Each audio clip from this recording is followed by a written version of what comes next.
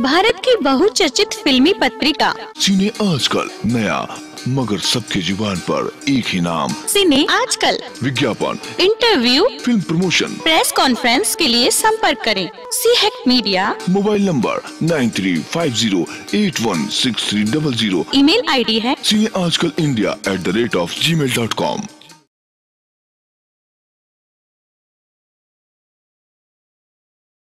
नमस्कार सीने आजकल न्यूज़ में आपका स्वागत है। मैं हूँ आपके साथ चेतना चौधरी। चले रुक करते बड़ी खबरों की ओर। एनडीए की ओर से राष्ट्रपति पद के उम्मीदवार बनाए गए रामनाथ कोविंद ने चुनाव में भारी अंतर से यूपीए के उम्मीदवार मीरा कुमार को हरा दिया। कोविंद देश के चौदहवें राष्ट्रपति होंगे। वे 25 जुलाई को राष्ट्रपति पद की शपथ लेंगे। बता दें कि रामनाथ कोविंद पूर्व राष्ट्रपति के आर नारायण के बाद देश के दूसरे दलित राष्ट्रपति होंगे। जम्मू कश्मीर के पूर्व सीएम फारूक अब्दुल्ला ने जम्मू कश्मीर की समस्या पर बड़ा बयान दिया है। उन्होंने कहा है कि कश्मीर के मुद्दे पर भारत को अमेरिका और चीन की मदद स्वीकार कर लेनी चाहिए। वहीं अब्दुल्ला के इस बयान पर जम्मू कश्मीर के उप मुख्यमंत्री निर्मल सिंह ने कहा है कि फारूक तो कहते थे कि पाकिस्तान पर हमला करना चाहिए। आज ऐसे बयान दे रहे हैं, ये निचले स्तर की बात करते हैं। रिलायंस इंडस्ट्रीज़ के चेयरमैन मुकेश अंबानी ने समूह की 40वीं सालाना आम महासभा में एक बार फिर से टेलीकॉम सेक्टर में हलचल मचाते हुए जियो फ़ोन लॉन्च किया है। अंबानी ने सभी को चौंकाते हुए ऐलान किया है कि ये जियो फ़ोन यूज़र्स को फ्री में मिलेगा। जियो फ़ोन लेने वाले लोगों को सिक्योरिटी मनी के तौर पर पंद्रह सौ चुकाने होंगे, जिसे तीन साल बाद कभी भी वापस लिया जा सकता है। गुजरात में कांग्रेस के दिग्गज नेता शंकर सिंह वाघेला अपने 77वें जन्मदिन पर बीजेपी में शामिल होने की घोषणा कर सकते हैं। बता दें कि इसी नवंबर में होने वाले विधानसभा चुनाव से पहले यदि वे ऐसी घोषणा करते हैं तो कांग्रेस की राज्य यूनिट में विभाजन हो सकता है। पुडुचेरी के उपराज्यपाल किरण बेदी एक बार फिर चर्चा में है। इस बार चर्चा किरण बेदी की पोस्टरों की हो रही है, जिसमें उन्होंने महाकाली और हिटलर के रूप में दिखाया गया है। उन्होंने खुद इन पोस्टरों को ट्वीट कर शेयर किया है। मोतिहारी के कई प्रखंडों में रामनाथ कोविंद के राष्ट्रपति बनने के बाद खुशी की लहर है। विशेषकर दलित बस्तियों में जश्न मनाया गया और मिठाइयाँ बांटी गई। इस दौरान बीजेपी के वरिष्ठ नेताओं के साथ विधायक सचिंदर प्रसाद सिंह भी मौजूद रहे। लोगों ने एक दूसरे को गुलाल लगाकर बधाई दी। आरा के महादेवा रोड के दक्षिण में स्थित श्री श्री एक सौ आठ बाबा जगेश्वर महादेव जी उर्फ़ बुडवा महादेव जी के मंदिर में भक्तों का तांता लगा हुआ है। ये मंदिर लगभग 500 साल से अधिक पुराना है। यहाँ स्वयं भू शिवलिंग है। शिवरात्रि और सावन में भीड़ विशेष बढ़ जाती है। बता दें कि इस मंदिर में भीम और सभी पांडवों ने अज्ञातवास के दौरान पूजा की थी। आम आदमी पार्टी के विधायक प्रकाश जारवाल के खिलाफ केस दर्ज किया गया है। जारवाल के खिलाफ एक महिला से अभद्रता का आरोप है, जिसके बाद उनके खिलाफ एफआईआर दर्ज की गई है। महिला ने आरोप लगाया है कि विधायक प्रकाश जारवाल ने उसकी चुन्नी खींची, इसके अलावा उसके साथ धक्का मुक्की की।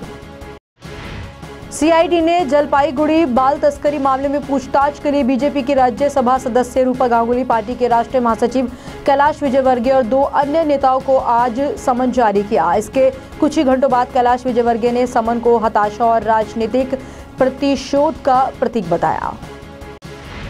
फरीदाबाद के सूरजकुंड इलाके में एक चलती कार में परफ्यूम लगाना एक बिजनेसमैन को भारी पड़ गया। बिजनेसमैन ने जैसे ही लाइटर जलाया, उनके कपड़ों में आग लग गई। इसके बाद कार नियंत्रण से बाहर होकर डिवाइडर पर लगे, पोल से टकरा गई फ़िलहाल गुड़गांव निवासी। इस व्यापारी को सेक्टर 21 ए स्थित एशियन अस्पताल में भर्ती कराया गया है।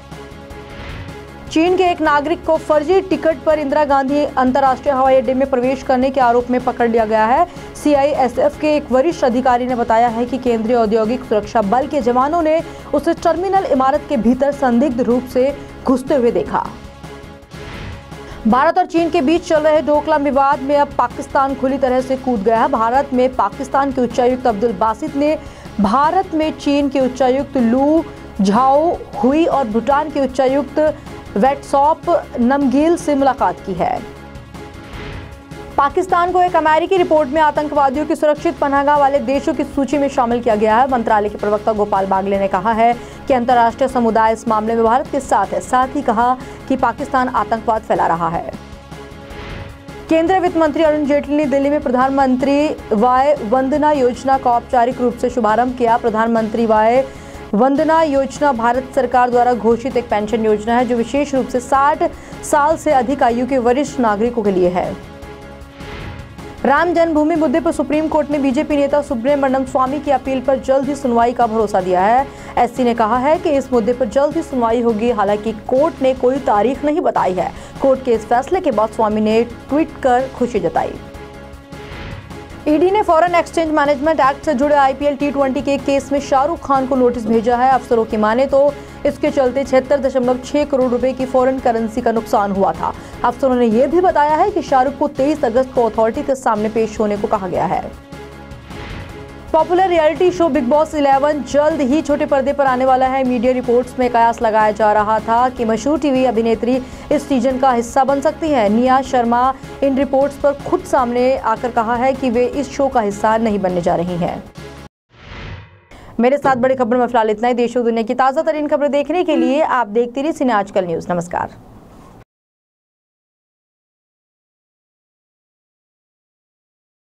लोकतंत्र का चौथा स्तंभ है मीडिया, पूरे देश की खबर। देश ही नहीं, विदेशों की खबर। हर खबर पर होगी पैनी नज़र। खबरें ही नहीं, साथ में होगा भरपूर मनोरंजन। जी हाँ तो देखते रहिए सीएम इंडिया टीवी खबरों की हकीकत, मनोरंजन के साथ।